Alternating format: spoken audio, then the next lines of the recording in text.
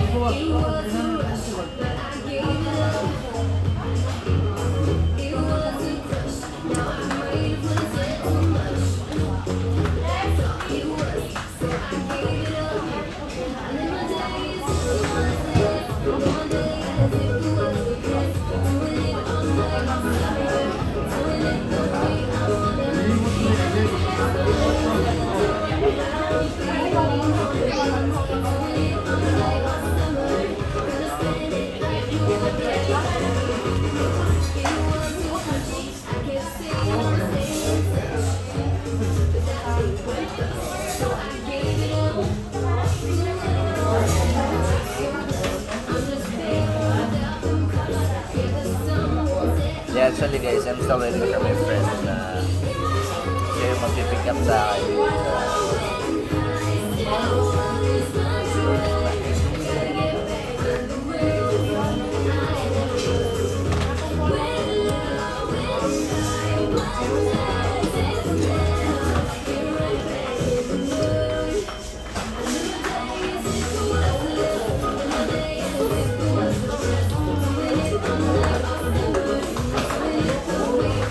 Actually guys, it's still raining. Uh, Nagdala akong bike. Kaya, hinatid ako ng ano ko, ng, ng kapatid. Yung brother-in-law ko, tapos yung kapatid ko.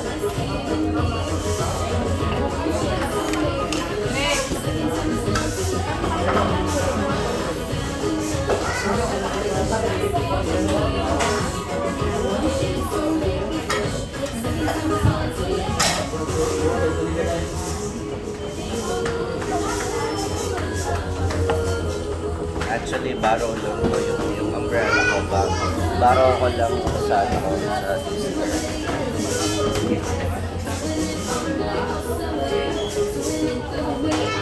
Kasi nga yung umbrella ko nasa sasakyan, pero hindi nga ako nagdala ng sasakyan. So, wala ko.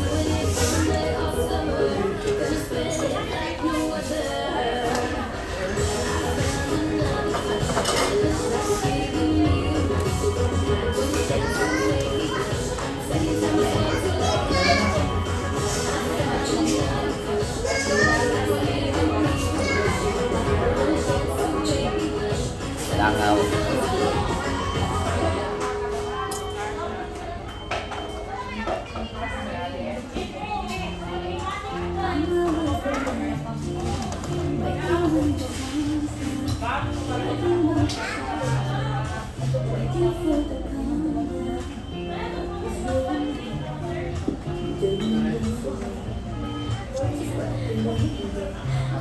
Uh, actually, it's a little bit different.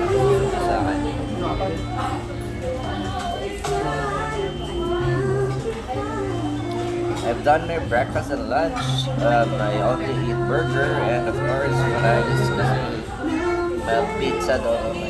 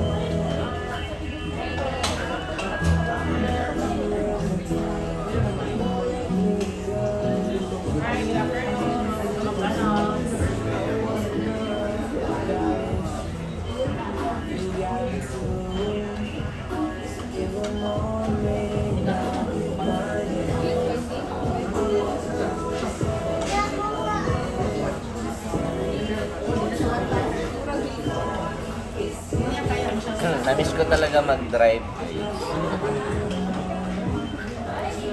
Actually, kaya ilang araw lang naman hindi ako nakapag-drive. Um, the other day, nag-drive din ako.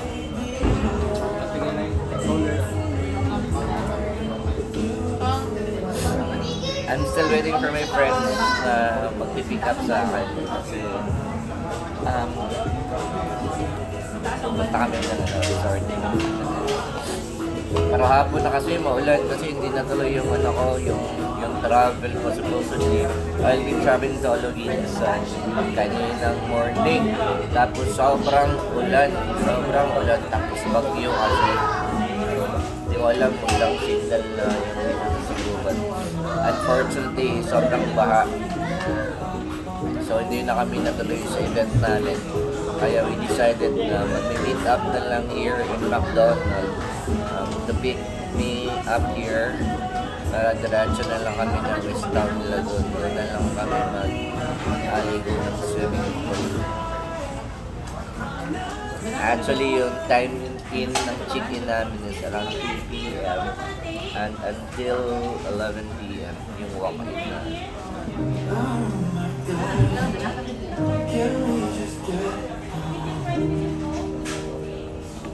Yun lang guys is I'm still waiting for my friend. Hindi pa rin sila dumalas.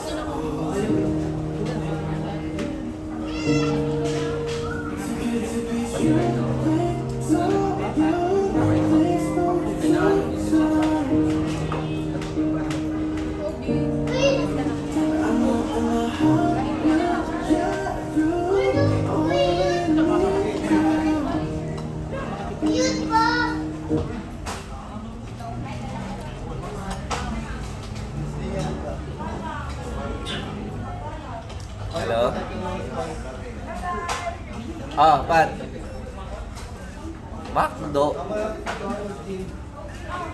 Ah, sige, sige, sige. Labang na ko. Sige, sige lang.